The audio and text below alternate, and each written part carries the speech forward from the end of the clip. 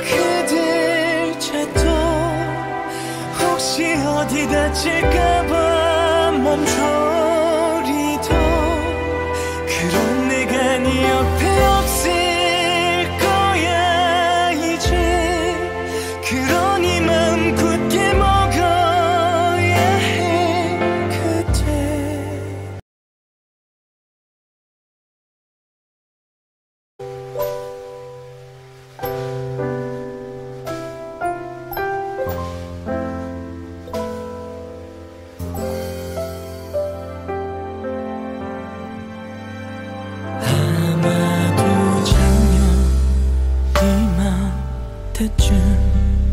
심하게 하루를 보내다가 그대를 알고 사랑하고 부둥켜 안고 서로 좋아하던 그때 반짝이는 별빛 아래 만나 시간이 지나 좀 더 깊어 지려 할 때 한 소절씩을 퍼가도 나의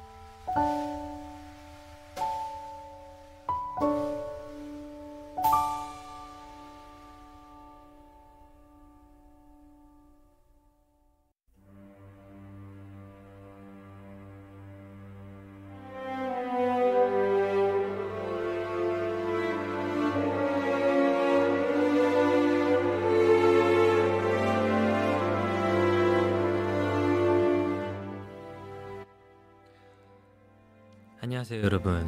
와, 이렇게 음, 덩그러니 혼자 인사드리는 게 아, 정말 오랜만인 것 같아요. 라디오는 특히 오랜만인 것 같은데요. 네이버 NOW의 규현 special 마지막 날에로 인사드리는 저는 겨울 발라더 규현입니다. 뭐 봄이 오면 음, 봄 발라더로 바꾸면 되니까요, 그죠? 아, 여러분 아무튼 뭐 이곳에서 만나 뵈니까 더 반갑고 새롭네요. 저 잘 보이시죠? 네. 뭐 많은 분들이 녹방이냐 생방이냐 굉장히 의심을 많이 하고 계시는데 보시면 6시 1, 분 네. 딱 지내고 있습니다. 생방입니다. 아, 음, 채팅창으로도 많은 분들이 이렇게 뭐 실루엣 미남이다 뭐 누가 꽃이냐 음? 뭐 그런 얘기도 많이 해주시네요 감사드리고요 네 반갑다고 네 다들 말씀해 주시네요 음, 사실 제가 완전히 혼자 나온 건 아니고요. 어, 제 영혼과 같은 친구와 함께 나왔습니다.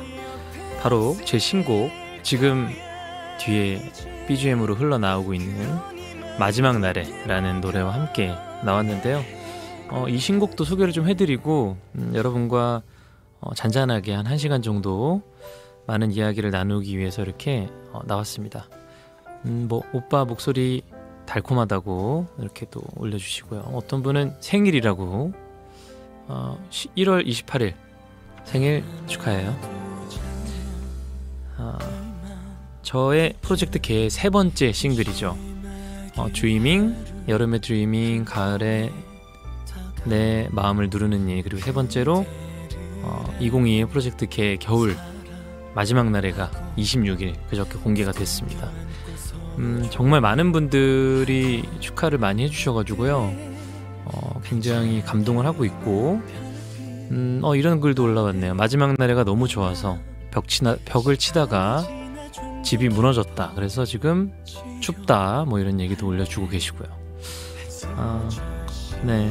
참 감사합니다. 저도 주변에서 많이 이렇게 축하를 받아서 노래가 좋다고 어, 너무 감사해요. 어, 그리고 내, 이 라우를 통해서도 어, 많은 분들이 축하 메시지를 보내주셨습니다. 닉네임 루시 최님 루시 최? 최루시? 아무튼 이분께서 규현 오빠의 쉬지 않는 음원 발매 소식이 정말 기쁘네요. 많이 축하드립니다. 바쁘시겠지만 틈틈이 건강 관리도 잘 하셨으면 좋겠어요. 늘 오빠를 응원합니다라고 보내주셨어요.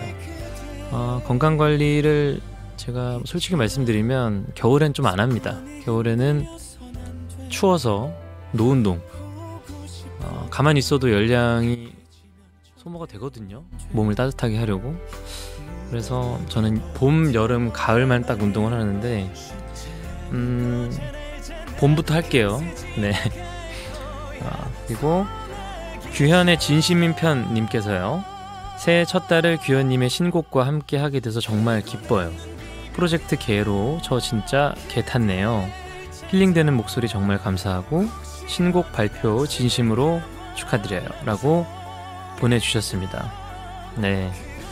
음, 저도 1월 달에 나올 거라고 생각 안 했었는데, 어, 1월 달에 딱 나오는 게 오히려 좋았던 것 같아요. 음, 뭔가 새해를 딱 열어가면서 시작을 할 수 있는 것 같아서 네, 다들 이제 봄부터 다이어트를 하겠다고요. 그렇죠. 프로젝트 개봄 나오면 끝나는 건가요? 라고 말씀하셨는데 음, 아직은 뭐 확정된 바는 없습니다. 어떻게 될지 뭐 많이 많은 사랑을 해주신다면 어, 뭐 월간 윤종신이 있듯이 개간 조규현이 될 수도 있고요. 네. 하나 더 소개해드릴게요. 초보맘님 작년에 규현 씨의 달달한 노래로 태교를 했고 얼마 전에 출산을 했습니다. 좋은 노래로 태교를 한 덕분인지 순하고 예쁜 딸이 저에게 왔네요. 임신 기간 내내 좋은 기운을 준 규현 씨의 신곡도 정말 축하해요. 앞으로도 다양한 노래 많이 들려주세요. 화이팅! 이렇게 해주셨는데요. 음, 초보시군요. 어, 또 사실 저도 그 작년 제 아무튼 재작년? 이렇게 조카들을 처음 이렇게 함께 조카를 얻고 나서 사실 이렇게 아이들을 볼 때마다 좀 마음이 예전 그 별 생각 없을 때랑은 다르게 좀 더 따뜻하고 사랑스럽게 보게 되는 것 같은데 아마 지금 고생이 많으실 것 같아요. 얼마 전에 출산을 하셨으면 뭐 잠도 못 주무실 것 같은데. 아 진짜. 그 감사하더라고요. 저도 저희 누나가 조카들이랑 놀아주고 이렇게 키우는 걸 보면서 야 우리 부모님들이 우리를 다 이렇게 고생해서 키우셨구나 이런 생각도 많이 들면서 부모님한테도 감사하다는 그런 생각도 많이 들었고요. 아무튼 진짜 당분간 한 몇 년간은 고생을 좀 많이 하실 것 같은데 힘내시길 바라겠습니다. 그 기간 동안 제가 이런저런 노래로 많이 응원해 드릴게요. 네. 우리 조카들 귀엽다고 얘기가 많이 올라 네, 댓글 보고 있습니다. 음, 조조카. 좋습니다. 자, 아, 보통 새 앨범이 이렇게 나오면 기자 간담회나 쇼케이스 같은 거를 하죠. 어, 근데 저는 우리 제 그 계절 프로젝트, 프로젝트 개는 어, 거의 노홍보에 가까운 어, 방송 활동도 뭐 하지도 않고요. 그냥 SNS에 올리는 게 끝입니다. 근데 이번 같은 경우는 그래서 나름 네이버 나우에서 이렇게 어, 감사하게도 기회를 주셔가지고 어, 나우 제작진 분들께서 제 신곡 인터뷰를 해줄 기자님 한 분을 어, 찾아가서 이렇게 질문을 받아왔다고 하네요. 어, 제가 아는 기자님일지 어떤 분일지 모르겠는데 한번 질문을 들어보고 답변 해드릴게요. 기자님, 큐. 안녕하세요. 르브르 매거진입니다. 우선 신곡 발표하신 것 정말 축하드립니다. 이번 신곡 마지막 날에 대한 전반적인 소개 부탁드릴게요. 어, 루브르 매거진의 송민호 기자신 것 같죠? 네. 뻔하네요 네이버 나오. 네. 자, 어, 전반적인 소개라. 음, 어, 사실 이 노래는 어, 참 슬픈 노래예요. 보통 사람들이 수많은 연애의 시작과 끝을 하고 있잖아요. 근데 이 노래는 아쉽게도 그 연애의 마지막을 어, 이야기하고 있는 그런 노래인데 음, 상대방에게 그, 그 가사가 가사를 자세히 곱씹어보면 굉장히 슬픈 내용들이거든요. 어, 피곤한 눈 비벼가며 그들 찾던 혹시 어디 다칠까봐 맘 졸이던 그런 내가 네 옆에 없을 거야. 그러니 마음 굳게 먹어야 돼. 잘 이겨내야 돼. 약간 이런 가사인데 어, 사실 그냥 얼핏 들으면은 남자가 쓰레기네. 어? 버리고 가는 건 이런 생각을 하실 수도 있는데 사실 이 어, 이 화자는 스스로에게도 다짐을 하고 있는 그러니까 상대방에게도 얘기하지만 스스로에게도 어, 약간 자기 암시 넌 그렇게 해야 돼 할 수 있어 라고 응원을 하는 그런 노래라고 생각을 해요. 그래서 어떤 이 왜 헤어졌을까요?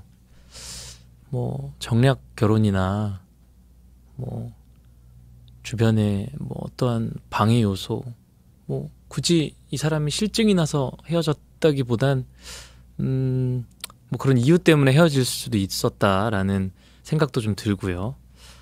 네, 그래서 뭐 하면서도 스스로한테 하는 얘기인 것 같다라는 생각이 듭니다. 네, 굉장히 좀 슬픈 노래예요.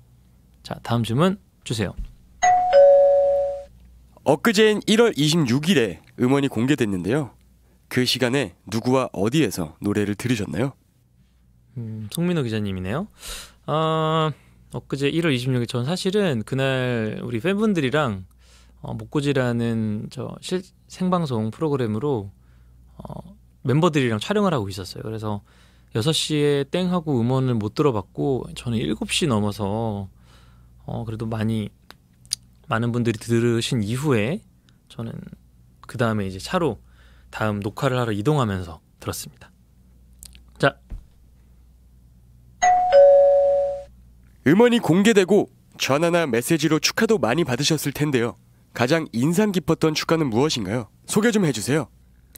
이게 뭐 성대모사인가요? 네, 뭐 전혀 알 수는 없는데, 음, 음원이 공개되고 아, 축하를 좀 많이 받았죠. 많이 받았는데, 아 갑자기 생각이 하나 나네요. 그러니까 여기저기서 연락도 많이 오고 축하도 해줬는데 좀 속보였던 건. 어, 좀 전까지도 우리 김희철 씨랑 이렇게 연락을 주고 받았는데, 음, 굳이 그 음원 사이트에 들어가서 이거 왜 다운이 안 되지? 아, 이거 어떻게 듣는 거야? 라는 거를 영상으로 찍어서 저한테 보내준. 그냥 휴대폰으로 들으면 되는 건데, 스트리밍을. 네, 그래서, 아, 와이철이 형이 정말 티를 많이 내는구나. 노래를 듣는. 그래서 뭐 또 고맙기도 했고요.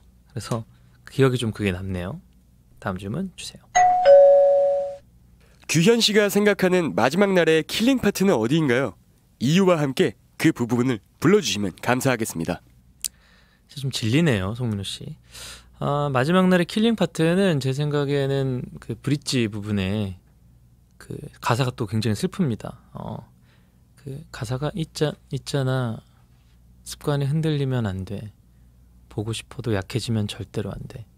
무던하게 버텨야만 해. 쉽지 않을 걸 잘 알잖아. 금세 지나갈 거야. 소나기처럼 이렇게 어, 또 상대방에게 얘기하는 것 같지만 사실 스스로 또 다짐하는 거죠. 음, 있잖아 습관에 흔들려선 안 돼. 보고 싶어도 약해지면 절대로 안 돼. 무던하게 버텨야만 해. 쉽지 않을 거 잘 알잖아. 금세 지나갈 거야. 소나기처럼. 네, 이런 부분이 있는데, 음, 참, 가장 좀 슬픈 내용인 것 같아요. 그래서, 음, 가장 들을 때 슬, 뭔가 집중해서 듣게 되는 부분인 것 같습니다. 자, 이제 슬슬 질리니까 마지막 질문 주시죠, 송민호 씨. 다양한 프로그램에서 활동 중이신데 슈즈를 제외하고 가장 최애인 동료는 누구인가요? 후배 중에 있을 것 같기도 하고 답변 주세요. 뭐 강압적이죠. 이거 뭐 거의 다양한 프로그램에서 활동 중이다를 먼저 깔아놓은 걸 봐선 다양한 그 같이 하고 있는 프로그램 촬영 중인 슈즈를 제외하고 가장 최애인 동료를 얘기하라. 뒤에 후배 중에 있을 것 같기도 하고라는 여러 가지 지금 음, 장치를 넣어놨죠. 네, 송민호 씨로 하겠습니다. 음, 최근에 저랑 지금도 하고 있는 프로그램이 있고요. 어, 노래 경연 프로그램도 있고 얼마 전에 끝난 신사육이나 뭐 어깨춤에도 나와줬고 송민호 씨로 하겠습니다. 축하합니다. 아 축하 뭐 상품 같은 건 없어요. 네, 송민호 씨 감사드리고요. 어 그리고 또 어떤 특별한 분께서 제게 축하 메시지를 보내주셨다고 합니다. 누군지 한번 함께 들어볼까요? 자, 지금까지 송민호 기자였습니다. 정말 최악이네요. 너마이. 너마 오수아 형. 뭐야? 형 노래 일단 나온 거 축하해요. 노래 좋아요. 너무 길어요. 근데 5분이 뭐야? 너무 길어요. 하지만 너무 좋게 잘 들었습니다. 뭐 축하드리고 어, NOW special show는 처음이라고 들었는데 뭐 긴장하지 말고 잘 하고요, 형. 혼자서 뭐 긴장 안 하겠죠. 자 그리고 아 근데 형 노래 중에 이게 뭐 오늘 이별을 했는데 뭐 오늘 이별을 한 거야. 이제 모든 기억, 아픔, 추억, 사랑, 따스했던 그대 손길 뒤로 한 채 모른 척 또 다른 곳을 찾아야 돼. 뭐 이런 가사가 있는데 이게 본인 경험에서 한 건가요? 어떻게 이렇게 짙은 감정이 노래에서 묻어나올 수 있는지 좀 궁금하네요. 이건 감, 경험이 없다면은 이거 아마 힘들 것 같은데 그런 부분에 있어서 솔직하게 우리 또 듣고 계신 청취자분들한테 말씀을 해주셨으면 또 좋겠습니다. 아무튼 감사하고요. 형 너무 축하드립니다. 우리 규현이 형 노래 마지막 날에 많이 들어주시고 사랑해주세요. 송민호였습니다. 빠이!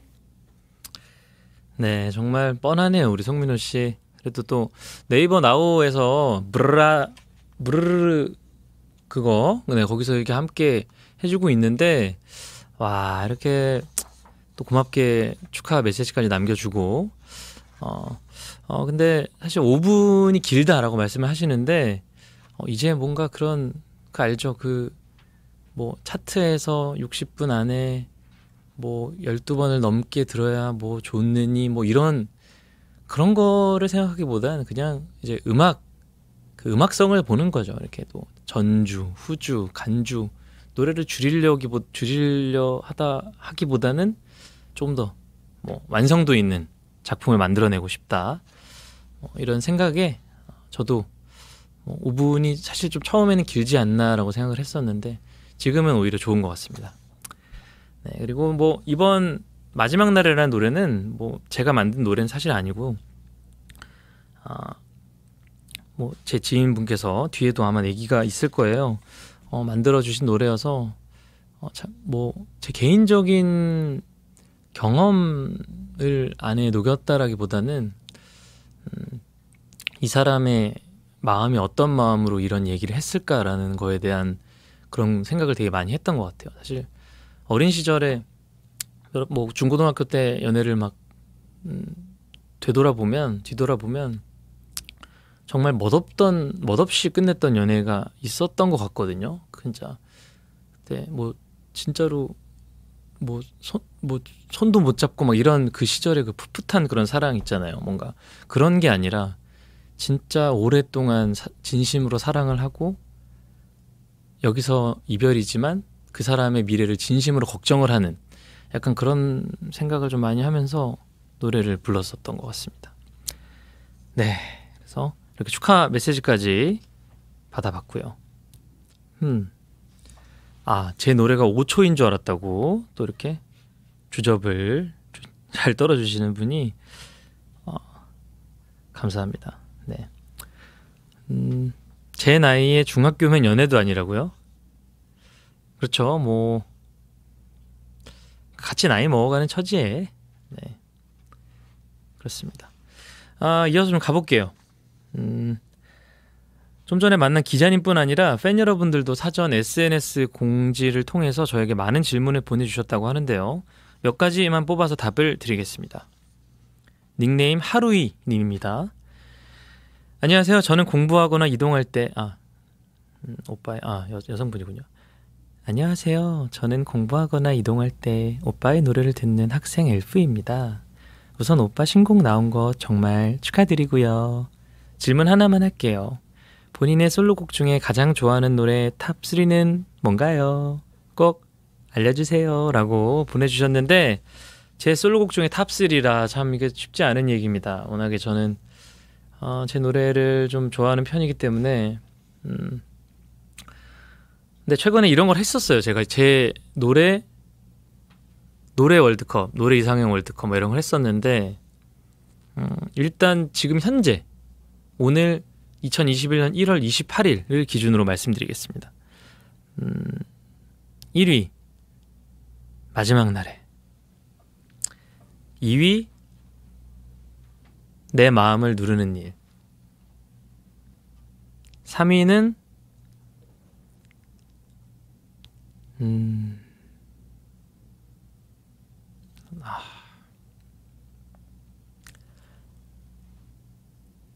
하루 종일로 하겠습니다. 이렇게 세 곡인데요. 어, 하루 종일이라는 노래는 그 당시에 제 노래 월드컵 1위를 차지했던 노래였죠. 근데 지금도 자주 듣고 있고요.